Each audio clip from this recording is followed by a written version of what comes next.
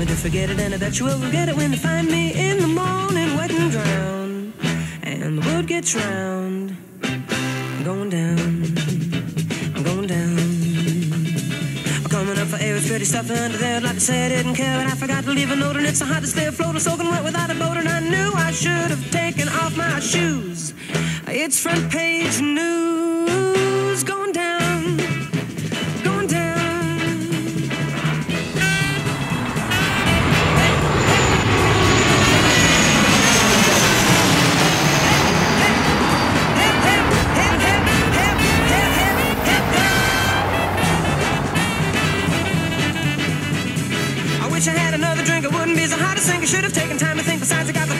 Must have had another date. I didn't need this extra way to wish that I could see the way to show.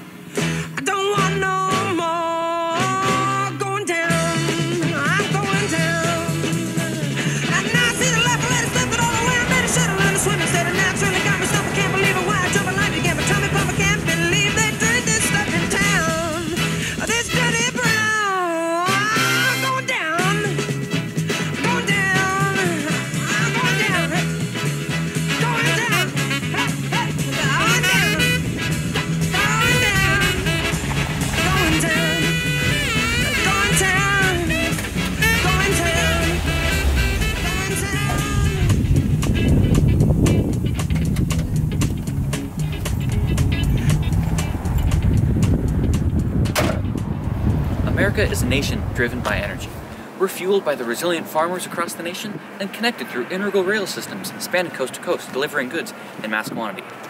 On top of those necessary functions in our society, there's other things we seem to take for granted as well. Everyday life would be vastly different without personal automobiles and access to airplanes.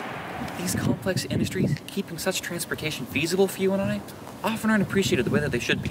With so many moving parts in both the machines and the workforce of employees, it's amazing to have what we have. But it's now the time to just say that what we have is good enough and we should just stop innovating? Say that we're fine where we are? Well, the plane we saw on my way in, it's about to fly me out of Bellingham. And the operation it's undergoing right now is called a turnaround.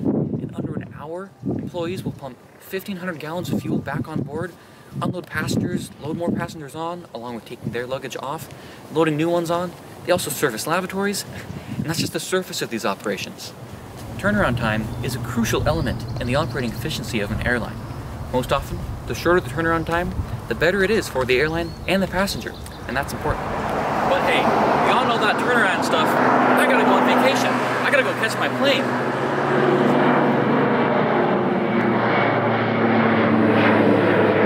Looks like I won't be needing this.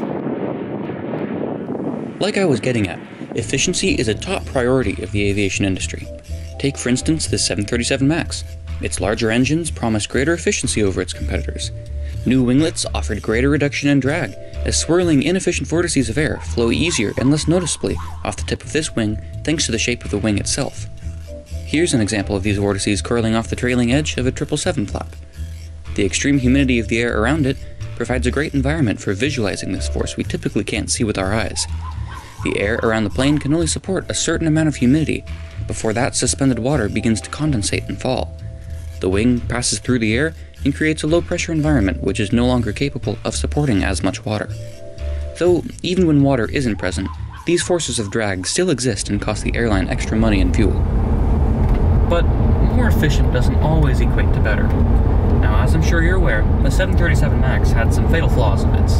Uh, the larger engines that they mounted, although they were more efficient, they were too big for the airframe, and it altered the flight characteristics of the plane and it made it more sensitive to fly. Now, although the MAX was a step in the right direction, it wasn't on the right path, and I've seen some other steps that have me concerned about path they're on, too. Now, electric aircraft, although they are a step in the right direction, I'm just not convinced they're on the right path. They've got too many things about them that really just wouldn't be suitable for aviation. We're going to take a deeper look into this soon. The future of aviation really lies in the fuels the aircraft use to fly. Electric powered cars already grace our streets, so could it be time for this technology to work its way into the skies? Well, even if our battery technology advances greatly, there's one unavoidable flaw all battery powered planes do and would have. They wouldn't become lighter in weight as they fly, and that's a crucial factor in aviation.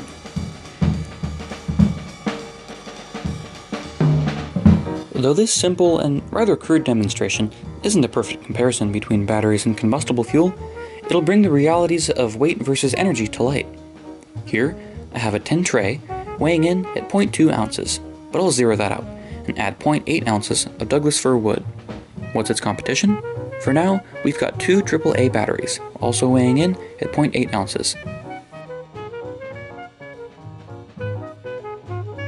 Burning this wood, we release what energy it has, and when it's done, it's again light enough to be accidentally blown away by the wind. And weighing up the burnt remnants shows that it lost 0.6 ounces of weight. That's 75% of its weight gone. And as for the batteries, they remain the same weight, dead or alive. So, no surprise, burning fuel releases byproduct that make the consumer of fuel weigh less. So now, let's compare the energy output of each when their weight is the same.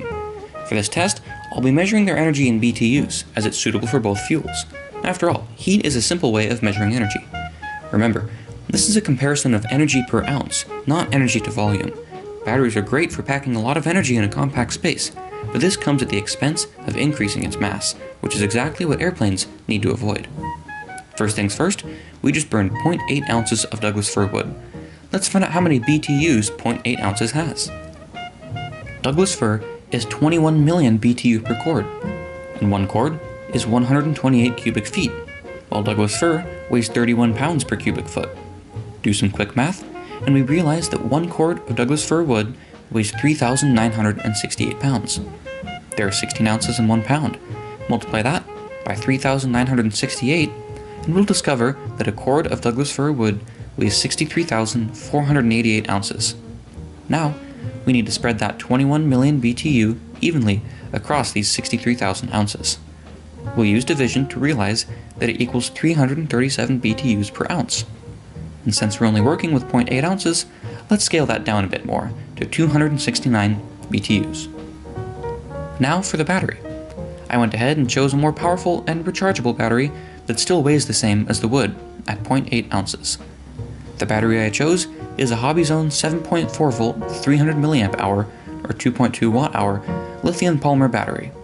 A quick Google search gives me an equation to find out how many total joules is in this battery.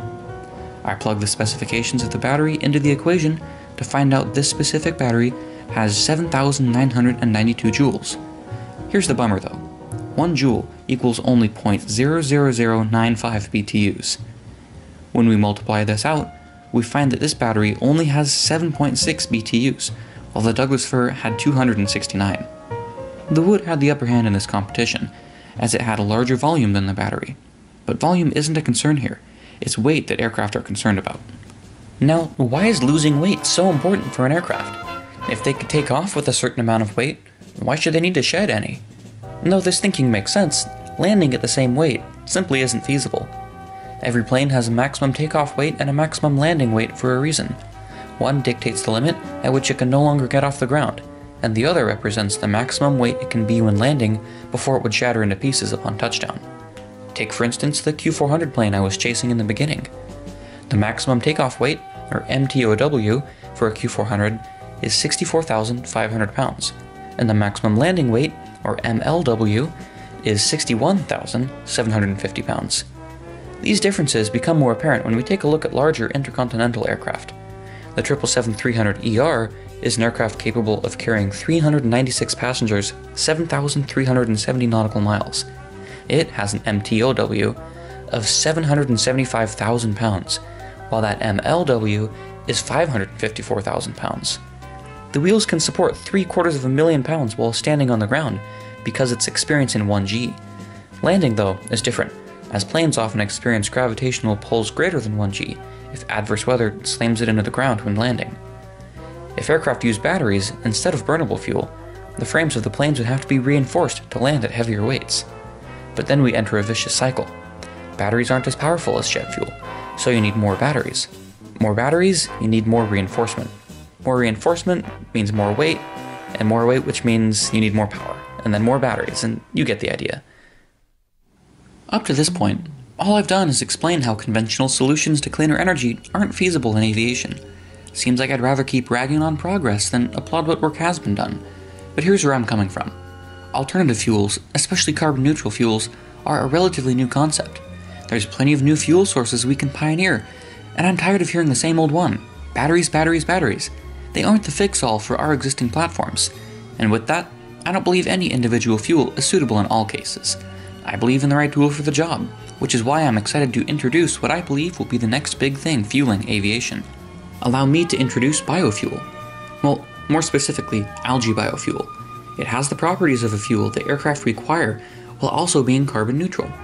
I'll mention this much right away. I'm intentionally ignoring the funding required to competitively bring this fuel into the market.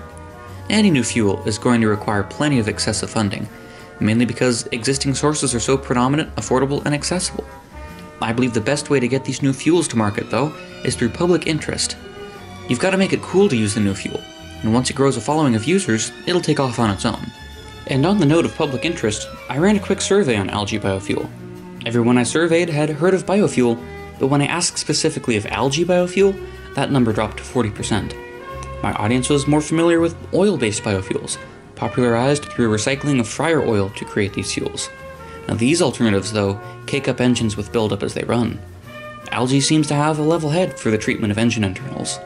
It's already being tested in aircraft, and it's exceeding expectations. Testing the fuel in a twin engine DA 42 aircraft proved more efficient than traditional jet fuel.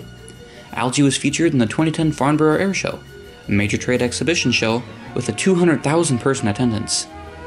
Though this publicity was beneficial, it's going to take a lot more for this fuel to become competitive. I believe that if we inform the public on how algae biofuel is made, a lot more of us will be excited to implement it in our daily lives. When the algae is grown for the fuel, it takes in CO2.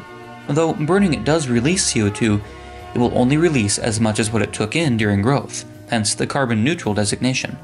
Though it's going to take a Herculean effort to get this new fuel into market, it'll pay out in the long run. Airlines will soon be opting for algae biofuel, as current aircraft can be powered by it with minimal alteration. No major operating changes will be necessary, which will streamline the transition to these renewable sources. There's no need to reinvent the wheel, but the wheels will certainly have to adapt to the terrain it encounters. And as always, keep those turbofans humming.